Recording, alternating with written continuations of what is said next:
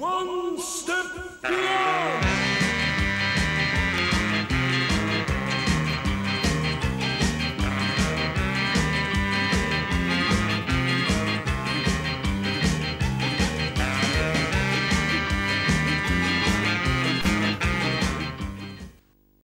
Buonasera a tutti e bentrovati ad una nuova puntata di Estate in Appennino. Ci troviamo all'ingresso della festa della birra di Monfestino. Ne parleremo nel corso di questa puntata. Iniziamo però la trasmissione di oggi, la puntata del giovedì, svelando i trucchi e i segreti di Stella Tagliazzucchi, che è una giovane ragazza di Pavullo, blogger ormai famosa in tutto il mondo, ma che addirittura ha vinto un concorso per il trucco cinematografico. Ci accompagna alla sua scoperta Davide Scarabelli.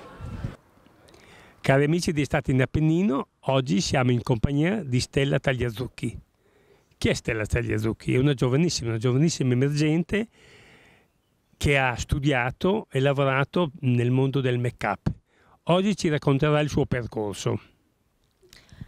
Salve a tutti, eh, dunque si diventa make-up artist attraverso delle scuole professionali che sono abbastanza diffuse negli ultimi anni in Italia. Io ho studiato a Bologna, dalla professoressa Balletti alla professoressa Sacco, che sono due delle più grandi e famose truccatrici italiane, e tramite un percorso che ci ha aperto molte prospettive lavorative sul teatro, il cinema, gli effetti speciali, il beauty e la fotografia, abbiamo insieme alla mia classe ovviamente, conseguito un diploma che ci ha qualificato come truccatrici, in inglese make-up artist e anche un po' più qualificante make-up artist al posto di truccatrice. Stella, come mai questa scelta?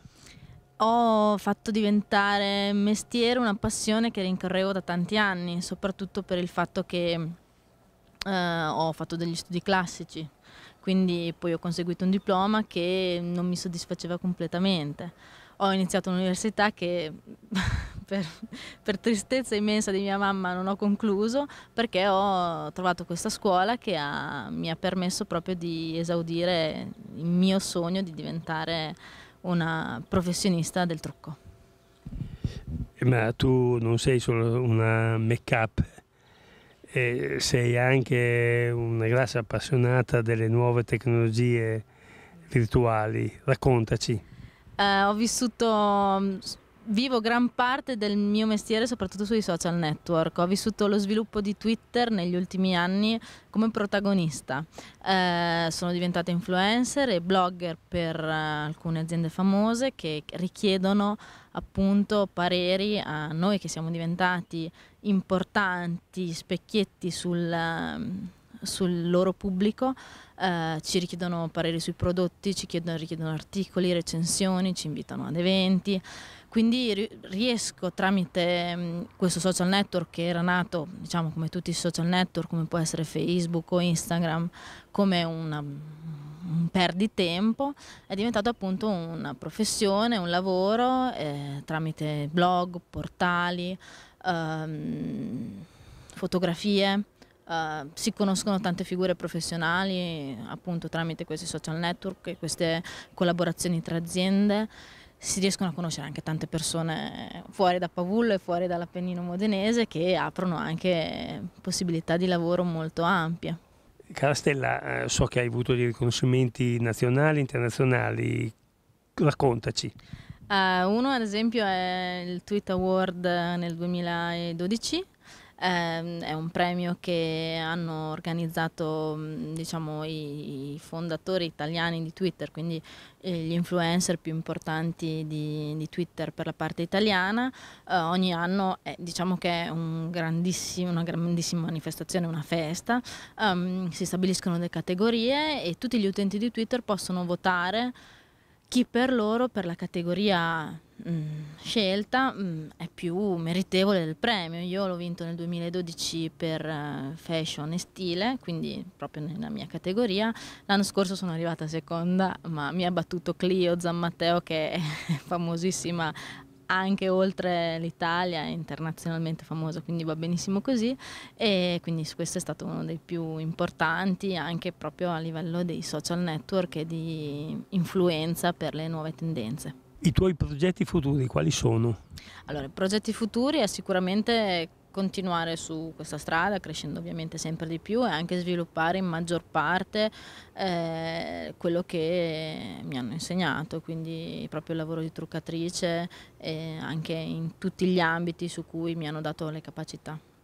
E in più in questo momento è stato un azzardo per me cominciare a fare questo mestiere, nel senso che vengo da una famiglia che ha già un'azienda avviata e quindi potevo eventualmente avere le spalle coperte. Diciamo che nel momento storico che attraversiamo, soprattutto insomma, a livello lavorativo e soprattutto da noi giovani, è, è, è, utile provare a, a conquistarsi un, una fetta nuova di, di, lavoro e di imprenditoria che comprende ovviamente anche queste nuove tecnologie.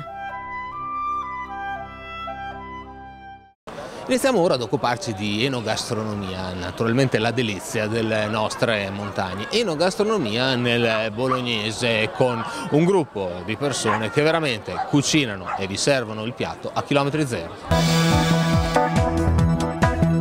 ultimi anni hanno assunto sempre maggiore rilevanza, sia economica che culturale, i prodotti tipici e la riscoperta delle tradizioni legate all'enogastronomia del territorio. Siamo andati a trovare due ristoratori che fanno cucina con prodotti tipici a chilometri zero. Noi siamo Hotel Santori a Poretta Terme, un'azienda che dal 1973 è presente sul territorio, che ha cercato sempre di valorizzare il prodotto tipico, quindi il prodotto locale, per cui collaboriamo con 30 aziende del territorio, con tutti i prodotti biologici, marmellate, salumi, formaggi, compreso la birra e il vino che è l'ultimo, il morastello, che è frutto del lavoro di qualche anno, adesso è distribuibile, bevibile anche nei locali.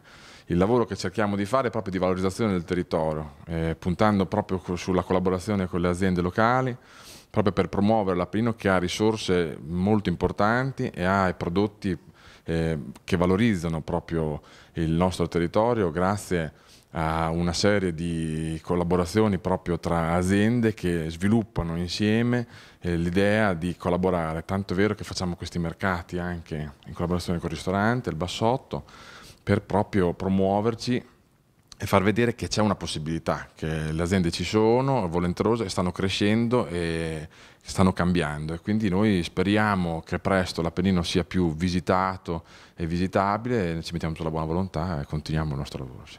La collaborazione fondamentale anche per questo eh, progetto va comunque a Vivi Appennino che ci ha aiutato nel percorso di aggregazione fra le varie aziende eh, per cui piano piano grandi novità e grandi sorprese nel territorio. Per le nostre preparazioni vengono usati tutti, tutti, i prodotti a chilometro zero, siccome abbiamo la fortuna di essere, noi ci sentiamo già a metà tra l'Emilia e la Toscana, anche se effettivamente siamo ancora in Emilia, e prendiamo spunti da ambe le regioni, guardiamo molto alla provenienza del, del prodotto perché ci piace mantenere la, la tradizione, ci piace utilizzare prodotti locali, mm, molte volte nasce talmente un, un discorso di amicizia anche tra, tra, il fornitore che non si cambia più e quindi mh, mm, siamo fieri di, di, usare prodotti a chilometro zero e dove possibile farli proprio noi con, con le nostre mani come nel caso del, della pasta fresca o della carne che appunto è della nostra azienda agricola. Queste sono alcune delle nostre preparazioni. E questa è la nostra tagliatella fatta in casa, in questo caso è a base di farina e farina di ceci. Abbiamo le nostre salamelle fatte dalla mm, nostra macelleria che è anche un'azienda agricola con eh, tutte di, di sapori diversi, dal, dal, parmigiano al tartufo, ai funghi porcini, al barbera e quant'altro, le classiche tigelle montanare con, eh, con il pesto a fianco, abbiamo la nostra carne tagliata, fiorentina, questo è più un taglio che va in Toscana però è gradito anche qua, e varie vari tagli del, del maiale, salsiccia, la braciola con l'osso e il capocollo. Il nostro formaggio abbiamo un misto tra pecorino e mucca, il parmigiano reggiano e un pecorino di grotta. la nostra pasta fatta in casa, questi sono ravioloni arlecchino ripieni di ricotta e erbette con burro e salvia. E questi ultimi sono eh, tortelloni all'ortica, ripieni di ricotta e ortica. Tre giorni di festa, tre giorni di Baldoria, tre giorni all'insegna della birra. Stiamo parlando della festa della birra di Monfestino. Quest'anno che non si svolge la rievocazione storica ormai tradizionale delle nostre montagne, un gruppo soprattutto di giovani di Monfestino ha deciso di organizzare nel mese di luglio una festa della birra capace di attirare i giovani ma non solo, anche le famiglie, anche chi è un po' più maturo, capace soprattutto di dare vita ad un borgo meraviglioso che chiede soltanto di essere visitato.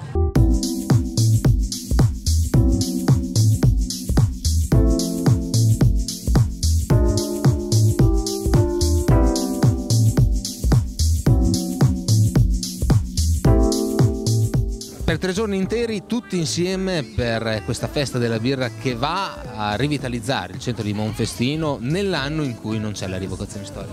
Sì, abbiamo pensato quest'anno di fare a luglio la festa per cercare di portare a Serra più giovani possibili. E in questo contesto bellissimo di Monfestino abbiamo pensato che fosse la location migliore per poter fare festa ma anche diciamo se vogliamo non cultura ma comunque far visitare i nostri posti saramazzoni che secondo noi sono molto belli. Ecco, ecco infatti il panorama c'è tutto, è dato da questo bellissimo eh, castello ma c'è anche tanta carne sulla griglia. Sì, eh, noi ci piace ancora cucinare tradizionalmente con le braci, salsiccia e costaiola sono il nostro diciamo, pezzo forte c'è molto da lavorare perché si fa fatica, però insomma è una bella soddisfazione. Ecco.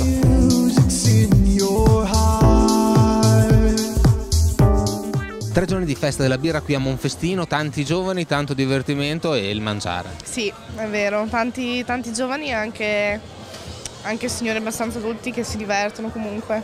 È bello vedere i giovani che sono da questa parte del bancone, quindi siete impegnati a dare una mano alla comunità. Esatto, sì, ci divertiamo anche tanto. Anche perché sabato sera magari qualcuno farebbe qualcos'altro. Baldodi, esatto.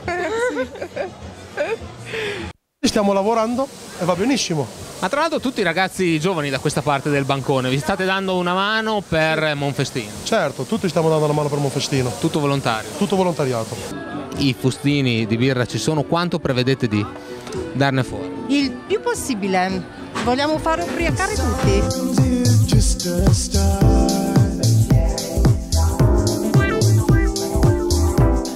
Una serata diversa, una serata in compagnia della famiglia, una serata in compagnia degli amici alla festa della birra di Monfestino. È bello vedere tanti giovani lavorare per la propria frazione, per renderla vivibile, vissuta in un contorno che chiede soltanto di essere visitato. Sì, questo sì.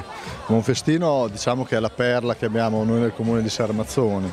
Abbiamo la fortuna di avere un gruppo di ragazzi qua di Monfestino che eh, si prestano al volontariato tutte queste feste che loro fanno le usano per, eh, per eh, fare propaganda, per varie feste che producono ancora un'altra volta come la festa medievale.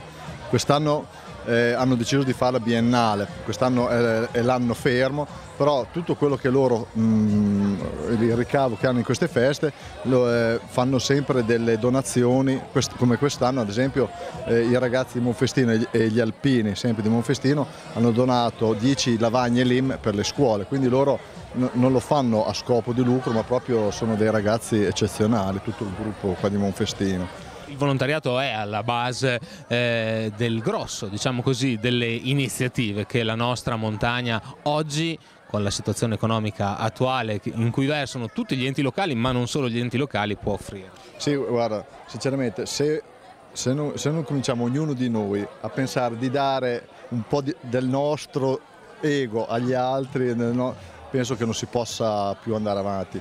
Con tutta la crisi che c'è in questo momento è essenziale che ognuno di noi partecipi a, al volontariato, a organizzare feste, tutto, perché ne abbiamo bisogno.